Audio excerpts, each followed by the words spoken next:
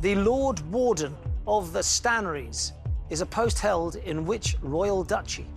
A. Cornwall, B. Lancaster, C. Luxembourg. You've put Cornwall.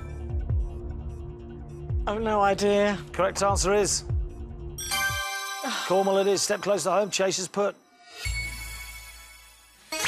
Goes also with Cornwall. Remains the one behind with two from home.